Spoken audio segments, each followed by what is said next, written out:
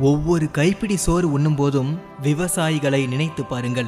நீங்கள் உணவை ஒருபோதும் வீணடிக்க மாட்டீர்கள். இதுவரை விளம்பரத்தில் ஈடுபடாத ஒரே தொழில் விவசாயம்தான். ஏனென்றால் விவசாயம் தொழில் அல்ல எமது உயிர்.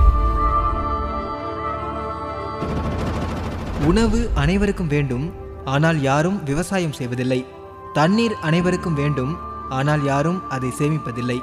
நிழல் அனைவருக்கும் வேண்டும் ஆனால் யாரும் மரம் வளர்க்க மாட்டார்கள்.